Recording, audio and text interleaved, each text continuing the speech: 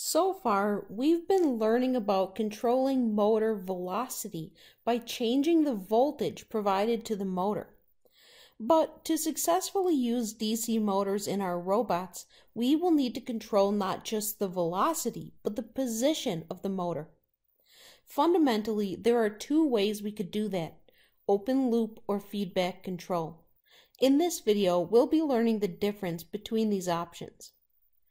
The fundamental difference between open loop and feedback control is the use of a sensor. With open loop control, we do not use a sensor, and with feedback control, we do. We could visualize the difference between these two types of control by using something called a block diagram. In a block diagram, we use a block to show each part of our system that takes an input and produces an output and we use an arrow to show each signal in our system. In our system, a signal is any quantity that changes over time. Here are a couple of examples. In our control system, we have a motor that will be represented by a block. The motor takes an input, voltage, and produces an output, velocity. Voltage and velocity are both signals because they're quantities that can change over time. We get to control the voltage signal and the motor turns the voltage into velocity. We could also add another block here that is an integral and then we could get position out instead of velocity. Feedback control has another block that reads the position. We then use the position that we read to decide what voltage to produce for the motor. Because of the use of a sensor, open loop control is less complex, less expensive, and, we'll learn more about this as we go, always stable. Feedback control, on the other hand, is more accurate. Let's learn more about this by trying both kinds of control. Let's start with open loop control. To implement open loop control, we will calculate how much time it will take to get the motor to a desired position at a particular speed, and then we'll set the speed of the motor, wait the specified amount of time, then turn the motor off. Let's try it. We already know how fast the motor will turn at each compare value, so we can implement open loop control. Suppose that we will apply 5 volts so that the motor turns 350 RPM as we learned previously.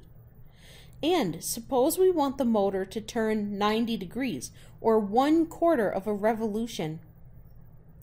We take 1 over 350 minutes per revolution times 1 quarter revolutions times 60 seconds per minute times 1000 milliseconds per second equals 42.85 milliseconds.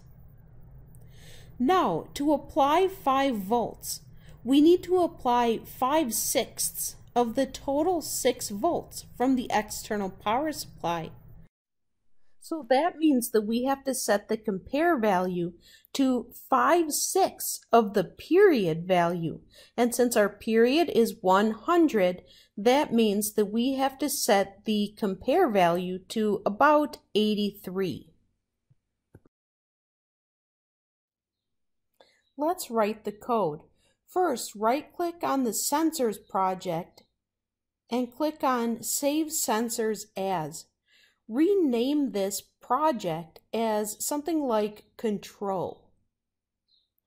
This way we'll still be able to get to the sensors project, but we can change this project to do more control things. Check all of these boxes here and then click rename. Now make sure the control project is set as the active project. It should appear in bold in your Workspace Explorer. Go to the top design and we'll start by deleting some things that we do not need. We're not going to be reading an analog sensor in this project. And we're also not going to use the switch. So delete this switch and delete this ADC block along with its pin.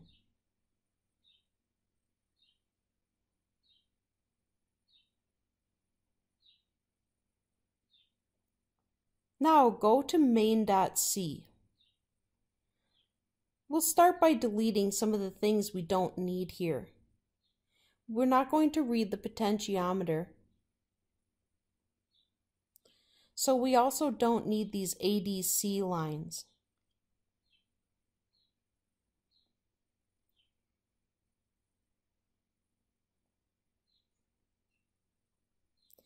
We calculated 83 as the compare value that we want to set. So let's change the compare value to 83.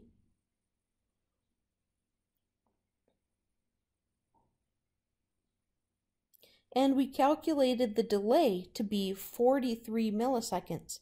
So we'll put that and then we'll change this to zero so that we stop the motor. Then I'll make this other delay much longer so that we have five whole seconds to watch what happens.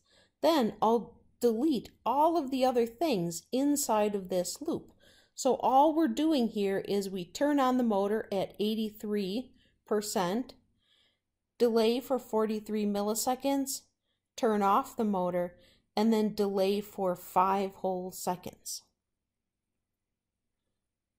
Let's start by building this project to make sure that we don't have any errors. If you get warnings here, that's okay. But if you get errors, stop and solve your errors by comparing your code carefully against mine. I got six warnings. That's okay. Zero errors is what we want plug in the PSOC and then program the PSOC and let's watch what happens.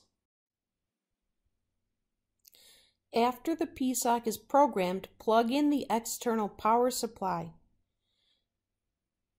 Now watch the behavior of the motor. Let this run for a number of different cycles and make some observations about what you see. As we watch the motor horn turn, Notice some characteristics. The amount that the motor turns is pretty close to 90 degrees, but not exactly. As more turns are made, the motor starts to drift. That is, the error adds up over time. But the motion is very smooth and fast. Also, notice that I can turn the motor horn with my hand, and the control algorithm doesn't care at all. This event, where an external force affects the motor position, is called a disturbance. One of the characteristics of open loop control is the inability to reject these disturbances.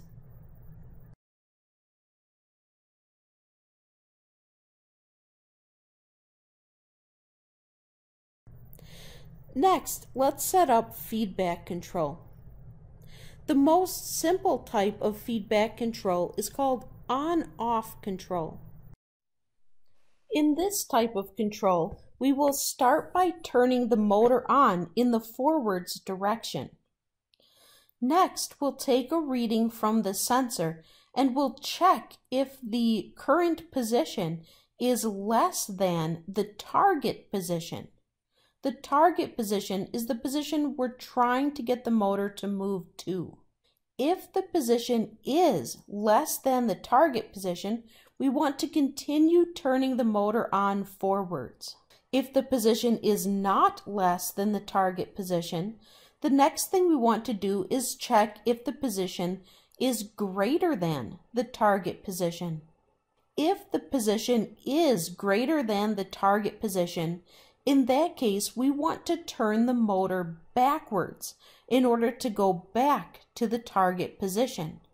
If the position is not greater than the target position, the only possibility left is that the position is exactly equal to the target position. And so in that case, we want to turn the motor off. Now, instead of ending here, we want to immediately go back to check to see if the position is less than the target. By doing that, we can successfully reject disturbances. In other words, if I would reach out my hand and turn the motor shaft away from its target position, we would be able to notice that by using the sensor and correct for it. Also, notice that in this flow chart that I've drawn here, we have loops. We have several arrows looping back to create loops in our code. This is a characteristic of feedback control. In feedback control, you will have loops connecting sensor checks to motor actions. In open loop control, we do not have loops in the code at all. Here in our code, let's start by getting a count from the quadrature encoder. We'll call this count 1.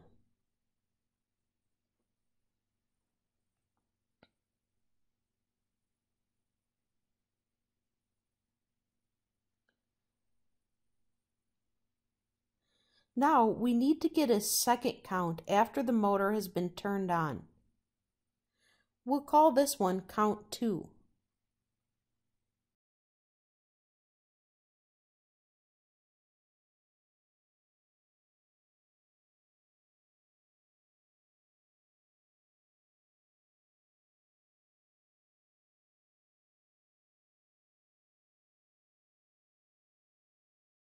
One way to make a while loop for our code is to check the count difference. We could continue doing this control algorithm as long as our count difference is less than a quarter of a turn, which would be 203 counts. In this case, we would then, inside this while loop, take another count recalculate the count difference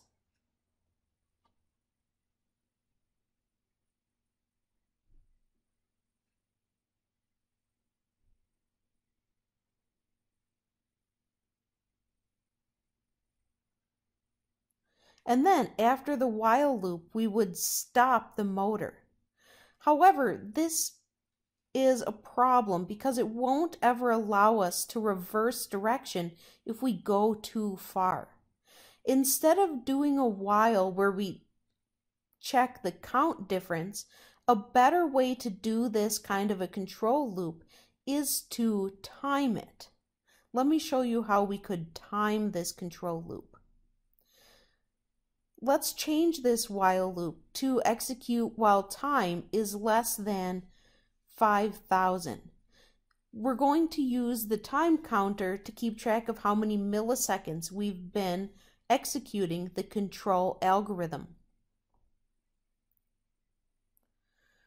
We can declare the time variable as an integer and then every time inside this while loop we'll increment the time counter.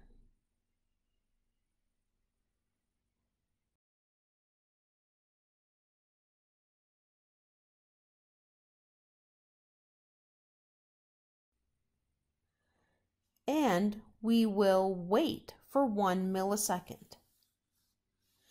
That way, we will give our motor five seconds, no more and no less, to get to its target position.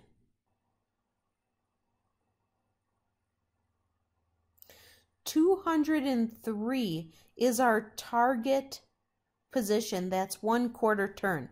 So if the count difference is less than 203, the target position, in that case, we should turn the motor forwards.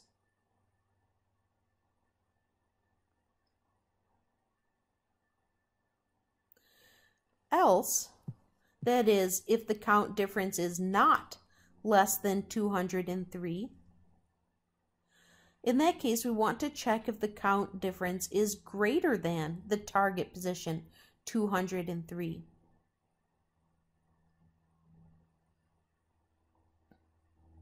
If it is, we want to turn the motor in the other direction.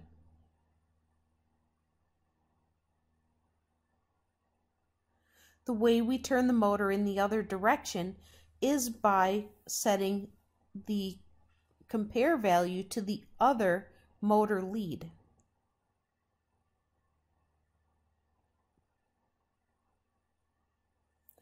Else, that is, if the count difference is exactly equal to the target position, 203, in this case we want to turn the motor off. We turn the motor off by writing the compare value of 0 to both motor leads. Also, up here at the top of the while loop, let's add a line to reset the counter back to zero. That way, we won't overflow the counter as we let this code run for a long time. In practice, if we're only rotating within about 360 degrees, uh, we wouldn't need this, but for our testing, this will help us out. Now, program the PSOC and observe the behavior of the motor. If your motor increments 90 degrees and then stops every 5 seconds or so, this code is working correctly for you. If the motor spins in one direction continuously, that could be happening because the, you have the two motor leads reversed relative to how my motor leads are plugged in. One way to solve this is just to unplug the two motor leads and reverse them. As we run this, note a couple of things. First, this control is unstable. The jittering that you observe occurs because the motor goes beyond the target point, reverses direction, overshoots again, reverses direction again, and so on forever.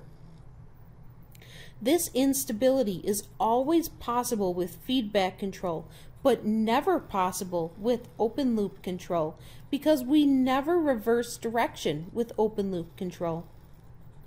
Secondly, if you turn the motor away from the target point and then let it go, the motor will snap back to the target point. This disturbance rejection is possible only with feedback control and not possible with open loop control. As we move forward with our learning about position feedback control, we can set up another positioning system that will end up being more useful to us, a rack and pinion. In the next video, we'll learn how to set up the rack and pinion and we'll test it with our on-off control.